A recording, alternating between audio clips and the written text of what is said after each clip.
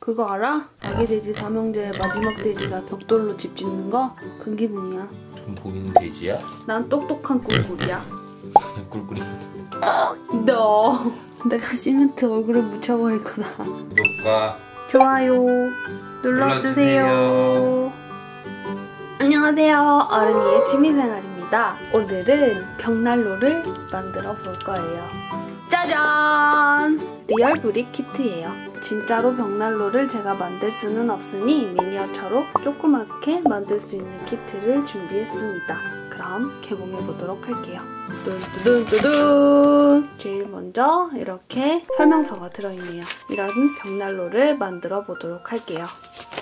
오, 이렇게 설명도 잘 되어 있네요. 안에 구성품은 어, 벽돌. 아, 이게 약간 가루가 묻어나는 것 같아요. 그래서 오염되는 게 싫으신 분들은 뭐 신문지나 이런 걸 깔고 작업하시는 게 좋을 것 같아요.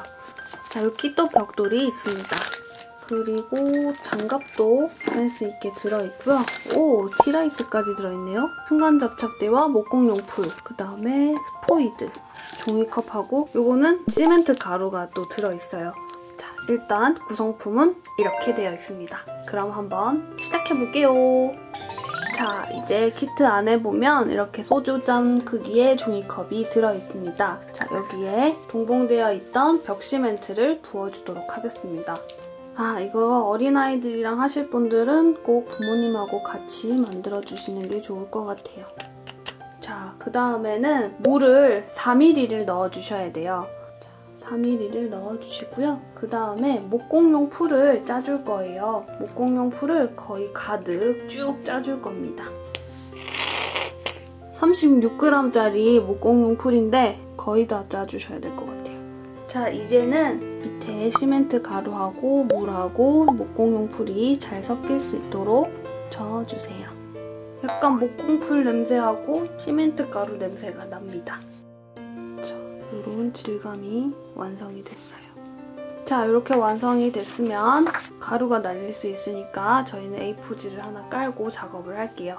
딴따단따단! 간호사 장갑 주세요. 따다다다다.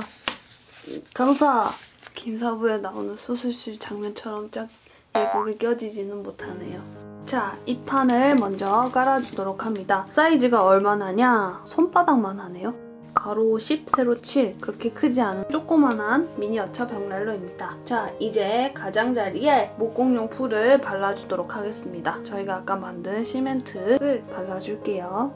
기초 공사가 중요하니까 넉넉하게 시멘트를 잘 발라주도록 합니다.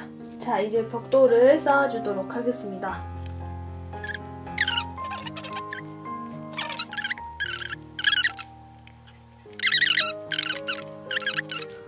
벽돌도 있지만 이렇게 작은 벽돌들도 있어요. 그래서 잘 보시고 조립을 해주세요.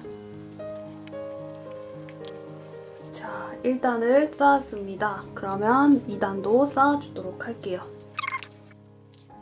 세 번째 칸은 이제 점점 좁아질 거니까 안쪽에만 바를 거예요. 이렇게. 맨 앞에 자그마한 벽돌을 먼저 올려주시고요. 자, 지금 보시는 것처럼 얘는 앞칸에 작은 게 들어있죠? 한 단 더 쌓을 때는 큰 벽돌로 얘를 어긋나게 쌓아줄 거예요. 그래야 튼튼하겠죠? 이게 벽돌을 쌓는 것도 재밌고 이거 시멘트 바르는 것도 재밌어요. 자, 이제 안쪽으로 두 단을 쌓았는데요. 네 단을 더 쌓아야 돼요. 역시 동일한 방법으로 앞에 작은 벽돌 오게 해서 한 단 쌓고 그 다음 단은 또 지금처럼 작은 벽돌 없이 쌓아줄 겁니다.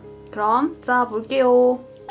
자, 이렇게 한 줄짜리를 6단을 지금 쌓았습니다. 이렇게 쌓았으면 단단하게 밀착을 시켜주기 위해서 모서리, 모서리 여기다가 순간 접착제를 발라주도록 할게요. 너무 많이 짜지 않도록 해주세요. 자, 이제 이 상태로 조금 굳혀주도록 하겠습니다. 자, 순간 접착제를 이용해서 이흰 벽돌들을 먼저 붙여줄 거예요. 6 곱하기 2짜리 2개, 4 곱하기 2 하나, 4 곱하기 1 하나. 넓이를 한번 유심히 봐주세요.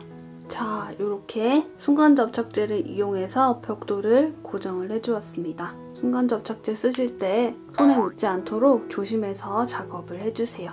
자, 이제 얘를 이렇게 붙여줄 거예요. 그래서 이 벽돌 위에 시멘트 풀을 좀 충분히 두툼하게 발라주도록 하겠습니다. 단단하게 고정을 해주세요. 이제 그럴듯하게 완성이 되고 있습니다. 이런 식으로 쌓아주었어요. 자, 그러면 순간 접착제를 이용해서 흰 벽돌하고 빨간 벽돌 사이를 고정을 해주세요.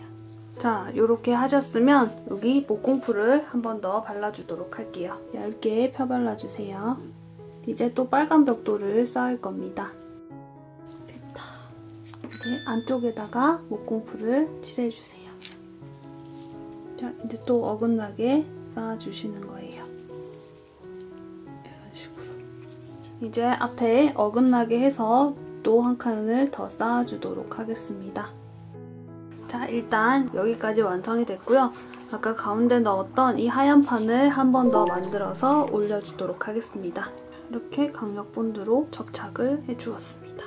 자, 또 시멘트를 충분히 발라주도록 할게요.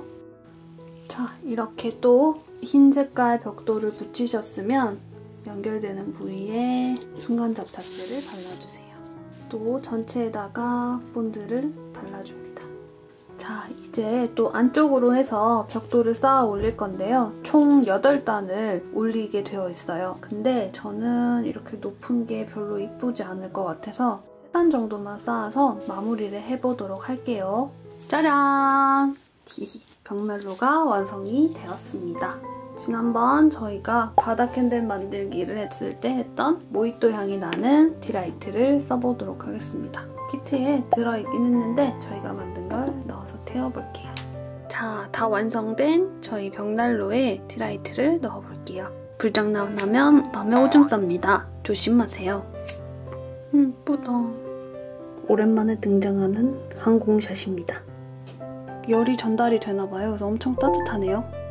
짜잔! 이렇게 저희 미니 벽난로를 만들어 보았습니다. 티라이트를 넣어서 이렇게 틀어보니까 엄청 분위기 있죠? 집에 벽난로를 갖고 싶으신 분들은 이렇게 대리만족을 해보시는 것도 좋을 것 같아요. 그럼 다음 시간에 또 만나요. 안녕!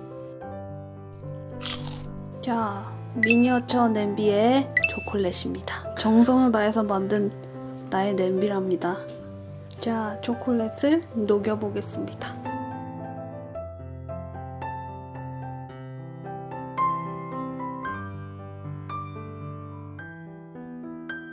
펭수 등신대에서 받은 초코픽 찍어 먹어보자.